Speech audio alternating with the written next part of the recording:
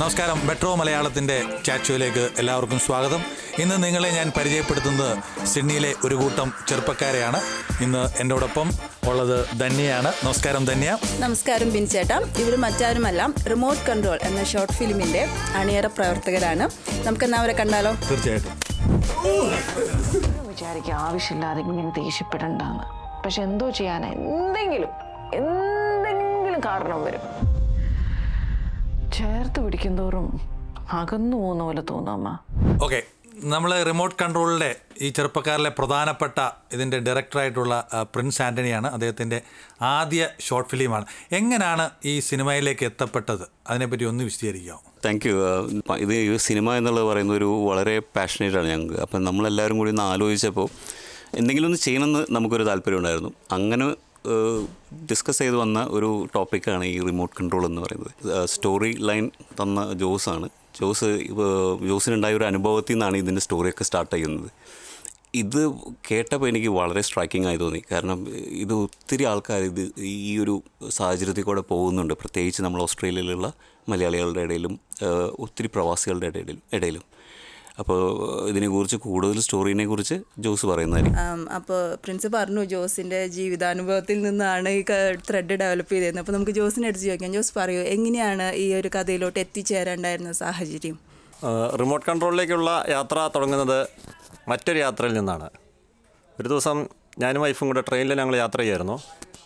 അപ്പോൾ ഒരു ലേഡി പുള്ളിക്കാരത്തി ഇരുന്ന് നാട്ടിലുള്ള ഭർത്താവിന് ഫോൺ വിളിക്കുന്നു. അത് കഴിഞ്ഞ് മകളെ ഫോൺ വിളിക്കുന്നു. ഇങ്ങനെ കുടുംബത്തിൽ ഓരോരുത്തരെ മാറി മാറി വിളിച്ചിട്ട് ഇവരിങ്ങനെ ഓരോന്ന് പറയുകയാണ് ഇവർ വീടിനെ മൊത്തം കൺട്രോൾ ചെയ്യാണ്. വീട്ടുകാർ മൊത്തം സ്ട്രെസ്സിലേക്ക് പോകുന്നു. അപ്പം ഇവർ ഇംഗ്ലീഷിലും പറയുന്നു മലയാളത്തിലും പറയുന്നു. അങ്ങനെ ട്രെയിനിലിരിക്കുന്ന എല്ലാവരും ഇവർ പറയുന്നത് തന്നെ ശ്രദ്ധിച്ചുകൊണ്ടിരിക്കുന്നു ഞങ്ങളും ശ്രദ്ധിച്ചുകൊണ്ടിരിക്കുന്നു ഇത് കണ്ടപ്പം എനിക്ക് തോന്നി ഇത് പല മലയാളികൾക്കും ഉള്ള ഒരു സ്വഭാവമാണ്. അവർ മറുനാട്ടിലാണെങ്കിലും അവരുടെ മനസ്സ് ഇപ്പോഴും നാട്ടിൽ തന്നെയാണ് അവിടെയുള്ള കാര്യങ്ങളെ മൊത്തം അവരിങ്ങനെ റിമോട്ടായിട്ട് കൺട്രോൾ ചെയ്തുകൊണ്ടിരിക്കും പിന്നീട് കുറച്ച് മാസങ്ങൾക്ക് ശേഷമാണ് പ്രിൻസുമായിട്ട് ചേർന്ന് ഇങ്ങനെ ഒരു ഷോർട്ട് ഫിലിമിനെ പറ്റിയിട്ടുള്ള ചിന്തകളൊക്കെ വന്ന സമയത്ത് ഈ ഒരു തോട്ട് ഷെയർ ചെയ്തു. പിന്നെ ബാക്കിയുള്ള കാര്യങ്ങൾ മൊത്തം ജീത്തുവിന്റെ കയ്യിലേക്കായിരുന്നു ഇതിനെ പോയത്. ജീത്തുവാണിത് ഫുള്ള് എഴുതി ഒരു ഈ സ്ക്രിപ്റ്റിനെ ഇന്ന് കാണുന്ന ഷേപ്പിലേക്ക് എത്തിച്ചത്. ജീത്തു കൂടുതൽ അതിനെപ്പറ്റി പറയാം. ഇപ്പം ജോസ് ഈ സംഭവം പറഞ്ഞപ്പം എന്റെ എനിക്ക് ഏറ്റവും അത് സ്ട്രൈക്ക് ചെയ്തത് റിമോട്ട് കൺട്രോൾ എന്നുള്ള ഒരു ഇതാണ്. കാരണം റിമോട്ടായിട്ടിരുന്ന് നാട്ടിൽ കൺട്രോൾ ചെയ്യുന്നു. അപ്പോൾ അതുകൊണ്ടാണ് നമ്മൾ ഒരു വീട്ടിലേക്ക് ഇത് മാറ്റിയതും ടി വി റിമോട്ടും കാർ റിമോട്ടൊക്കെ വെച്ച് ഇത് സിംബോളിക്കലി കാണിക്കാം എന്നുദ്ദേശിച്ച് ആണ് ഞങ്ങൾ സ്ക്രീൻ പ്ലേ തയ്യാറാക്കിയത്. അപ്പം അതിനു മുമ്പ് ഞാനും ഫ്രണ്ട്സും കൂടെ വേറെ കുറച്ച് കഥകളൊക്കെ ആലോചിച്ച് വെച്ചായിരുന്നു. പക്ഷേ അതൊന്നും ഞങ്ങൾക്കത് സെറ്റായില്ല അപ്പോൾ ഇത് ഞങ്ങൾക്ക് എല്ലാവർക്കും വർക്കായി നമുക്ക് സിമ്പിളായിട്ട് ഒരു ലൊക്കേഷനിൽ ഒരു ക്യാരക്ടർ വെച്ച് ചെയ്യാം എന്നുള്ള കോൺഫിഡൻസ് വെച്ച് നമ്മൾ ആദ്യമായിട്ട് നമ്മൾ ഈ കഥ തന്നെ അങ്ങ് സെറ്റ് ചെയ്ത് മുന്നോട്ട് പോവുകയായിരുന്നു. ഇതിൽ വളരെ മനോഹരമായി അഭിനയിച്ച ഒരു സൂസൻ എന്ന കഥാപാത്രത്തെ നിങ്ങളുടെ മുന്നിൽ എത്തിച്ചത് വേറെ ആരുമല്ല. മീനുവാണ് മീനു എങ്ങനെ ഈ കഥാപാത്രത്തിലേക്ക് എത്തി? എങ്ങനെ ഇതിന്റെ ഭാഗമായി? ഈ ചെറുപ്പക്കാരോട് എങ്ങനെ ചെറുപ്പക്കാരിയല്ല എന്നല്ല ഞാൻ പറഞ്ഞത്. എന്നാലും എങ്ങനെ ഇത് സംഭവിച്ചു ഒന്ന് വിശദീകരിക്കാമോ? അത് മീനുവിന്റെ ആദ്യത്തെ ഷോർട്ട് ഫിലിം അതെ മിനുവിന്റെ ആദ്യത്തെ ഷോർട്ട് ഫിലിമാണ് എന്നുള്ളതാണ് അതിന്റെ ഒരു പ്രത്യേകത. പറയൂ. ജീത്തു ആണ് എന്നെ അപ്രോച്ച് ചെയ്തത്. പക്ഷേ ഈ ഇങ്ങനത്തെ ഒരു സംരംഭത്തിലേക്ക് വന്നപ്പം ഇവരെ എല്ലാവരെയും കൂടി ഇറ്റ്സ് എ ഡ്രീം ടീം ഒരു ബ്യൂട്ടിഫുൾ ഡ്രീം ആ പ്രിൻസിനും ജെയ്സൺ ജീത്തു ജോസ് അരുൺ എല്ലാവരുടെയും കൂടി ആ ഒരു കോപ്പറേറ്റീവ് വർക്കാണ് നിങ്ങൾ ഈ ഫൈനൽ പ്രോഡക്റ്റിൽ കാണുന്നത്. ആ വോയിസസ് തന്ന എന്റെ അതിന്റെ ആ ഷോർട്ട് ഫിലിമിലെ മെയിൻ ക്യാരക്ടർ ആണെങ്കിൽ പോലും മറ്റ് ക്യാരക്ടേഴ്സാണ് ഈ ക്യാരക്ടറിനെ സപ്പോർട്ട് ചെയ്ത് ഒരു ഇതാക്കിയത് ഒരു ഹിറ്റാക്കിയത് അപ്പം ഹസ്ബൻഡ് ആണെങ്കിലും വൈഫ് ഫ്രണ്ട് ആണെങ്കിലും മദർ ആണെങ്കിലും മോളാണെങ്കിലും അവർ അവിടെ തന്നെ എനിക്ക് ഡയലോഗ്സ് പ്രോംപ്റ്റ് ചെയ്ത് തരുന്നുണ്ടായിരുന്നു. സോ മസ്റ്റ് വാച്ച് നിങ്ങളെല്ലാവരും ഇത് ഹിറ്റാക്കിയതിന് thank you so much Minu പറഞ്ഞല്ലോ ഇതിൽ ഇപ്പം മിനു ആണ് ഇതിന് മെയിനായിട്ട് ഓൺ സ്ക്രീനിലുള്ള ഒരേ ഒരു ക്യാരക്ടർ അതുപോലെ തന്നെ ഇമ്പോർട്ടന്റ് ആണ് ഈ വോയിസ് മാത്രം കൊടുത്ത് ഈ മെയിൻ ക്യാരക്ടറിനെ സപ്പോർട്ട് ചെയ്താൽ ബാക്കിയുള്ള ക്യാരക്ടേഴ്സും അല്ലേ? അതിൽ എനിക്ക് ഏറ്റവും ഇൻട്രസ്റ്റിംഗ് ആയിട്ട് തോന്നിയ ഒരു ഒരു ക്യാരക്ടർ എന്ന് പറയുന്നത് എന്റെ ഹസ്ബൻഡ് ക്യാരക്ടർ കാരണം നമുക്ക് ഫേഷ്യൽ എക്സ്പ്രഷനോ അല്ലെങ്കിൽ ബോഡി ലാംഗ്വേജോ ഒന്നും കാണിക്കാതെ വെറു- വെറും നമ്മുടെ ശബ്ദം കൊണ്ട് മാത്രം ആ ഒരു ക്യാരക്ടറിന് ജീവൻ കൊടുക്കുക എന്ന് പറഞ്ഞാൽ അതൊരു ഒരു വലിയ കഴിവാണ്. അത് ആദ്യമായിട്ട് ചെയ്യുമ്പോഴത്തേക്കും അത് വളരെ അല്ലേ വളരെ നന്നായി ചെയ്തിട്ടുണ്ട്. എനിക്ക് മനസ്സിലായത് ഇത് ചെയ്തിരിക്കുന്നത് ഇതിലൊരു പ്രൊഡ്യൂസറായ അരുണാണ്. എന്റെ ഹസ്ബൻഡിനൊക്കെ ശരിക്കും ആ ഒരു അരുണിന്റെ ക്യാരക്ടർ റിലേറ്റ് ചെയ്യാൻ പറ്റി. ബിൻ ചേട്ടൻ അങ്ങനെ എന്തെങ്കിലും അനുഭവം ഉണ്ടായിട്ടുണ്ടോ? തീർച്ചയായിട്ടും. പക്ഷേ എന്റെ ആഗ്രഹം ഇതുപോലൊരു ആദർശനായ ഒരു ഹസ്ബൻഡ് ആകുക എന്നുള്ളതാണ്. കാരണം ഇതുപോലെ ഫോണിലൊക്കെ സംസാരിച്ച് കഴിഞ്ഞാൽ അത്യാവശ്യം തടി നന്നായിരിക്കും എന്നുള്ള ആഗ്രഹമാണ് ഉള്ളത് ഏതായാലും ഒരു കാര്യത്തിൽ സംശയമില്ല. അരുണിന്റെ ഇന്നത്തെ ശബ്ദം നൽകിയത് അരുൺ വളരെ മെച്ചമായിരുന്നു വളരെ നന്നായിരുന്നു. അതിനെ ഉൾക്കൊണ്ട് തന്നെ അരുൺ ഇത് ചെയ്തു എന്നുള്ളതാണ്. പറയൂ അരുൺ എന്താണ് ഇതിന്റെ ഒരു അനുഭവം? എന്റെ ഹസ്ബൻഡിന്റെ ക്യാരക്ടറിനെ പറയുന്നതിന് മുമ്പ് ഒരു ചെറിയൊരു സ്റ്റോറി ഉണ്ട് ഞാൻ പ്രിൻസിനെ ഇവിടെ ഇവിടെ എല്ലാവരിലും വന്നിട്ടാണ് പരിചയപ്പെട്ടത്. അതിനുമുമ്പ് ജീത്തുവിനെ എനിക്കറിയാം. ജീത്തു ഞങ്ങളെ ക്ലാസ്മേറ്റ്സ് ആയിരുന്നു. ലെവൻത്തും ട്വൽത്തൊക്കെ ക്ലാസ്മേറ്റ്സ് ആയിരുന്നു. പിന്നെ ഈ ഒരു സീന്റെ കാര്യം പറഞ്ഞു കഴിഞ്ഞാൽ എനിക്കത് അത്ര ഒരു വലിയൊരു ചലഞ്ചിങ് ഒരു ഇതായിട്ട് തോന്നിയില്ല. നോർമലായിട്ട് ഞാൻ സംസാരിച്ചാണ്. പ്രിൻസാണ് അതിന്റെ എനിക്ക് സപ്പോർട്ട് വന്നത് എങ്ങനെയാണ് സംസാരിക്കേണ്ടത് എങ്ങനെയാണ് ആ ഒരു ഇതിൽ നിന്നുള്ളത്? അപ്പോൾ എനിക്കത് ഭയങ്കര കംഫർട്ടബിൾ തന്നെയാണ് ഫീൽ ചെയ്തത്. പിന്നെ എല്ലാവരും ഭയങ്കര സപ്പോർട്ടീവ് ആയിരുന്നു. ഈ ക്രൂ എന്ന് പറഞ്ഞു കഴിഞ്ഞാൽ ഇതൊരു ഇത് മിനു പറഞ്ഞ പോലെ ഒരു ഡ്രീം കം ട്രൂ ഒരു ക്രൂ ആയിരുന്നു ആക്ച്വലി അത്ര എല്ലാവരും ഭയങ്കര ഒരു ടീം വർക്കാണത് എൻഡ് ഓഫ് ദി ഡേ ഞാനതൊരു ചെറിയൊരു ഒരു പ്രൊഡക്ഷൻ എന്ന് പറഞ്ഞാൽ ഞങ്ങൾ എല്ലാവരും കൂടി തന്നെയാണ് പ്രൊഡ്യൂസ് ചെയ്തത്. പിന്നെ അതിനകത്ത് എന്റെ പേരിട്ടിട്ടുണ്ട്. പിന്നെ എ അരുണിൽ എ ആദ്യം വരുന്ന കാരണം എന്റെ പേരെല്ലായിടത്തും എന്ന് കിടക്കുന്നുണ്ട്. അത്രേ ഉള്ളൂ. അല്ലാതെ വളരെ ഒരു ഫണ്ണായിരുന്നു. ഞങ്ങൾക്ക് എല്ലാ എല്ലാ വീക്കെൻഡിലും ഒത്തുകൂടാനും മറ്റു കാര്യങ്ങൾക്ക് വേണ്ടിയിട്ടുള്ളൊരു ഒരു രസകരമായൊരു അനുഭവമായിരുന്നു. അടുത്ത മീനുവിനോടാണ്.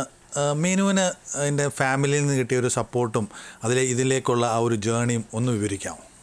എനിക്ക് ഞാൻ പറഞ്ഞ പോലെ ജീത്തു ആണ് ആദ്യമായിട്ട് ഈ ഷോർട്ട് ഫിലിമിലോട്ട് അഭിനയിക്കാൻ ഒരു കോൾ തന്നത്. പക്ഷെ എന്നെ അല്ല വിളിച്ചത് ജീത്തു. ജീത്തു വിളിച്ചത് എന്റെ ഹസ്ബൻഡ് അബൂനെയാണ് അബൂനോട് വിളിച്ചിട്ട് ഞാനുണ്ടോ എന്ന് ചോദിച്ചിട്ട് ഞങ്ങൾ രണ്ടുപേരും കൂടി ഒരുമിച്ചാ ജീത്തു ഇങ്ങനത്തെ ഒരു ഓഫർ വെച്ചത്.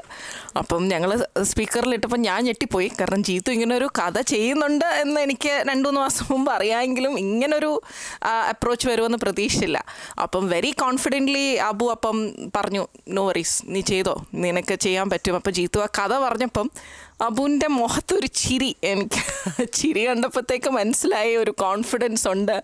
അപ്പോൾ അബു തമാശക്കനോട് പറയാ ഓ ഇത് അഭിനയമൊന്നും അല്ല. നീ നാച്ചുറലായിട്ട് അങ്ങ് പോയി ചെയ്താൽ മതി. അപ്പം നല്ലൊരു സപ്പോർട്ടായിരുന്നു അവിടെ ചെന്നപ്പോഴും ദ വേ അബുവും പക്ഷേ ഞാൻ പറഞ്ഞല്ലോ ഈ ഡ്രീം ടീം ഞാൻ ജീത്തുവിനെ മാത്രമേ എനിക്ക് അറിയത്തുള്ളൂ വേറെ ആരെയും എനിക്ക് അറിയത്തില്ല ആദ്യമായിട്ട് ഞാൻ ഇത് ടേക്ക് എടുക്കാൻ വേണ്ടി ജീത്തുവിന്റെ വീട്ടിൽ പോയപ്പോഴാണ് പരിചയപ്പെട്ടത്. പക്ഷേ ഒരു ഹിൻഡ്രൻസും ഇല്ലായിരുന്നു. ഒരു ഒരു പ്രശ്നവും ഇല്ലായിരുന്നു. വെരി കംഫർട്ടബിളായിട്ട് എന്താ ചെയ്യേണ്ടതെന്ന് അവർക്ക് നല്ലൊരു ഐഡിയ ഉണ്ടായിരുന്നു. ക്യാമറ ആയാലും പ്രിൻസിനാണെങ്കിലും എന്താ വേണ്ടതെന്നുള്ള ഒരു ഐഡിയ അവർക്ക് നല്ല ഈസിലി കമ്മ്യൂണിക്കേറ്റ് ചെയ്യാൻ പറ്റി. അപ്പോൾ അതുകൊണ്ട് വെരി സ്മൂത്തായിട്ട് ഈ ഷോർട്ട് ഫിലിം ഞങ്ങൾക്ക് ഷൂട്ട് ചെയ്യാൻ പറ്റി. അതുപോലെ തന്നെ അമ്മയും കുഞ്ഞും എന്ന് പറയുന്ന നമ്മുടെ നാട്ടിൽ നടക്കുന്ന ഒരു ഷോയ്ക്ക് ഇവിടെ നമ്മുടെ മെൽബേണിൽ നിന്ന് വിദ്യ എന്ന് പറഞ്ഞ ഒരു പെൺകുട്ടി പോയി അതിന്റെ ടൈറ്റിൽ വിന്നറാണ്. അപ്പം അത് എന്തൊരു എക്സൈറ്റിംഗ് ആണ് അത് കേൾക്കാൻ തന്നെ. അപ്പം ഇങ്ങനത്തെ എന്തെങ്കിലുമൊക്കെ സംരംഭങ്ങൾ വരുമ്പോൾ നമ്മളത് ഗ്രാബ് ചെയ്യണം നമ്മൾ ആ ഓപ്പർച്യൂണിറ്റി എടുക്കണം നമ്മൾ അതിന്റെ പാർട്ടാവണം. അടുത്തതായിട്ട് എടുത്തു പറയാനുള്ളത് ഇതിന്റെ സിനിമാറ്റോഗ്രാഫിയാണ് കാര്യം അതെ എനിക്ക് ടെക്നിക്കലായിട്ട് ഇതിനെപ്പറ്റി വലിയ അറിവൊന്നുമില്ലെങ്കിലും കണ്ട പലരും എന്റെ അടുത്ത് പറഞ്ഞേക്കുന്ന ഒരു ഫീച്ചർ ഫിലിമിന്റെ അതേ സ്റ്റാൻഡേർഡ് മെയിന്റെയിൻ ചെയ്തിട്ടുണ്ടെന്നാണ്.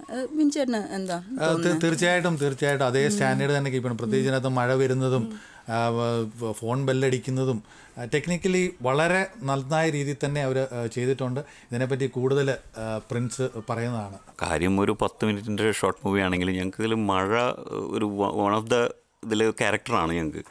അപ്പം അത് എങ്ങനെ ഉണ്ടാക്കണം എന്നുള്ളത് ഒരു വലിയൊരു തോട്ടായിരുന്നു അങ്ങനെ ഇങ്ങനെ ആലോചിച്ച് വന്നപ്പോഴാണ് സിമ്പിളായിട്ടൊരു സൊല്യൂഷനാണ്. അത് ഞങ്ങളൊരു ജസ്റ്റ് ഒരു സാധാരണ നമ്മുടെ ഒരു പൈപ്പും ഒരു പി വി സി പൈപ്പും സാധാരണ നമ്മുടെ ഒരു ഗാർഡനിൽ ഉപയോഗിക്കുന്ന ഒരു ടാപ്പും. അത് രണ്ടും ഉപയോഗിച്ചിട്ടാണ് ഇത് ചെയ്തത്. ഇതിന്റെ ഐഡിയ ഞാൻ പറഞ്ഞു കൊടുത്തെങ്കിലും പക്ഷേ നമ്മൾ എക്സിക്യൂട്ട് ചെയ്തത് നമ്മുടെ ജീത്തു ആണ്. ജീത്തു അതിന്റെ പിന്നിൽ ഒത്തിരി പണിയെടുത്തിട്ടുണ്ട്. ഞാൻ ജീത്തുവിന്റെ തന്നെ കൊടുക്കാം. ജീത്തു അതിൽ ഒത്തിരി എക്സ്പീരിയൻസ് ഷെയർ ചെയ്യുന്നതായിരിക്കും. അത് ക്യാരക്ടറിന്റെ ഒരു ഇന്നർ ടെർമോയിൽ കാണിക്കാം പ്രിൻസിന്റെ ഐഡിയ ആയിരുന്നു നമുക്ക് മഴ സിംബോളിക്കായിട്ട് കാണിക്കാമെന്ന്. അപ്പം മഴ വേണമെന്ന് പറഞ്ഞപ്പോൾ ഞങ്ങൾ ഒരുപാട് ആലോചിച്ചത് എങ്ങനെ ചെയ്യാം. അപ്പോൾ പ്രിൻസിന്റെ തന്നെ ഐഡിയ ആയിരുന്നു നമുക്ക് ഒരു പൈപ്പിൽ പൈപ്പിൽ കുറേ ഹോൾസ് പഞ്ച് ചെയ്ത് ഡ്രില്ല് ചെയ്ത് നമുക്ക് മഴ പെയ്യിക്കാന്നുള്ളത്. അപ്പം ആ സമയത്ത് എനിക്ക് എനിക്ക് കുറച്ച് സമയമുണ്ടായിരുന്നു. ഞാൻ ജോലി മാറുന്നൊരു സമയമായിരുന്നു. അതുകൊണ്ട് അത് എക്സിക്യൂട്ട് ചെയ്യാൻ തന്നെ വിചാരിച്ചു. നമുക്ക് ആ പാടെ ബണ്ണിങ്സിൽ നിന്ന് ഒരു പൈപ്പ് മേടിച്ചു. ഒരു മീറ്ററിന്റെ പൈപ്പിൽ ഞങ്ങൾ ഒരു മീറ്റർ മാത്രം മഴ ഉപയോഗിച്ചുള്ളൂ ആ പാടെ ഇരുപത് ഡോളറോളം മാത്രമേ ചിലവായിട്ടുള്ളൂ അതിൽ ഇതിന്റെ ക്യാമറ ചെയ്തിരിക്കുന്നത് ജോയ്സിനാണ്. ജോയ്സിനെ എനിക്ക് എനിക്ക് പേഴ്സണലി അറിയാവുന്ന ഒരു വ്യക്തിയാണ്. എനിക്ക് വളരെ സന്തോഷമുണ്ട് ആളുടെ ഭാഗത്ത് നിന്ന് ഇങ്ങനെ ഒരു വളരെ നല്ലൊരു പ്രൊഡക്റ്റായി വന്നിട്ടുണ്ട്. അപ്പോൾ ജോയ്സൺ ഒന്ന് പറയാമോ ഒന്ന് ഇതിനെ പറ്റിയുള്ള അനുഭവം ഒന്ന് പങ്കുവയ്ക്കാവോ? അപ്പോൾ ഇതിന്റെ ഒരു പ്രീ പ്രൊഡക്ഷൻ എന്ന് പറഞ്ഞാൽ ഓൾമോസ്റ്റ് ഞങ്ങൾ വൺ മന്ത് പ്രിപ്പയർ ചെയ്തിട്ടുണ്ടായിരുന്നു. ഇൻഫാക്റ്റ് കംപ്ലീറ്റ് ഒരു ഷോർട്ട് ലിസ്റ്റ് നമ്മൾ ഈ ഷോർട്ട് ഫിലിമിന് വേണ്ടി റെഡിയാക്കിയിട്ടുണ്ടായിരുന്നു ആൻഡ് അതിന്റെ ഒരു pre as part of the pre production ഞങ്ങൾ ലൊക്കേഷനിൽ പോയി ഇതിന്റെ കംപ്ലീറ്റ് ലൈറ്റിംഗ് ഡയഗ്രാമും എല്ലാ കാര്യങ്ങളും മുന്നേ ചെയ്ത് വെച്ചിട്ടുണ്ടായിരുന്നു. Almost fifty two hundred pages ആയിരുന്നു നമ്മൾ ഇത് ഡ്രോ ചെയ്ത് അതിന്റെ സീൻസും എവറിത്തിങ് നമ്മൾ സ്കെച്ച് ഇട്ടിട്ടാണ് ഇത് പ്ലാൻ ചെയ്തത്. അത് കാരണം കൊണ്ട് ബേസിക്കലി നമ്മൾ ഇതിന്റെ ഒരു ഷൂട്ടിങ്ങിന് പോയപ്പോൾ തുടങ്ങിയപ്പോൾ ഓൾമോസ്റ്റ് എല്ലാവർക്കും ക്ലിയർ ഐഡിയ ഉണ്ടായിരുന്നു എക്സാക്ട്ലി ഇത് എന്താ ചെയ്യേണ്ടതെന്ന് ഇൻഫാക്റ്റ് മിനു ഇതിൽ നമ്മുടെ ലീഡ് ആക്ട്രസ് പുള്ളിക്കാരത്തേക്ക് പോലും കംപ്ലീറ്റ്ലി എല്ലാവരും കംപ്ലീറ്റ് ഐഡിയ ഉണ്ടായിരുന്നു ഷോർട്സ് എങ്ങനെയാണ് വരാൻ പോണത് അതിന്റെ ഡ്രോയിങ്സും ലൈറ്റിംഗ് ഡയഗ്രാമും എല്ലാ കാര്യങ്ങളും നമ്മൾ ഡീറ്റെയിൽ എക്സ്പ്ലെയിൻ ചെയ്ത കാരണമുണ്ട് complete crew as a all the team members ഇതിൽ വർക്ക് ചെയ്ത എല്ലാവർക്കും ഒരു ക്ലിയർ വ്യൂ ഉണ്ടായിരുന്നു. അത് കാരണം ഞങ്ങൾക്കൊരു ഒരു വൺ ടു കപ്പിൾ ഓഫ് ഡേയ്സിൽ ഇതിന്റെ ഒരു ഷൂട്ടിംഗ് നമുക്ക് ക്ലോസ് ചെയ്യാൻ പറ്റി. നമുക്ക് ഇത് വൈൻഡപ്പ് ചെയ്യാൻ സമയമായിരിക്കുകയാണ്. അങ്ങനെ റിമോട്ട് കൺട്രോൾ എന്ന് പറയുന്ന ഷോർട്ട് ഫിലിമിന്റെ പ്രവർത്തിച്ച ആളുകളെ നമ്മൾ പരിചയപ്പെട്ടു. ഇങ്ങനെയുള്ള സംരംഭങ്ങൾ ഇനിയും ഉണ്ടാകട്ടെ. ഇവരുടെ പുതിയ വരുന്ന പ്രോജക്റ്റുകൾക്കൊക്കെ എല്ലാവിധ ആശംസകളും നൽകുന്നു. വൈൻഡപ്പ് ചെയ്യുന്നതിനേക്കാളും മുമ്പ് എനിക്ക് പറയാനുള്ളത് ഇത് കാണാത്തവരെല്ലാം പോയി കാണണം. സോഷ്യൽ മീഡിയയിൽ വൈറലായി ഓടിക്കൊണ്ടിരിക്കുന്ന ഒരു ഷോർട്ട് ഫിലിമാണിത്. അപ്പോൾ സമയം കളയാതെ എല്ലാവരും കാണുക. നന്ദി നമസ്കാരം. Thank so much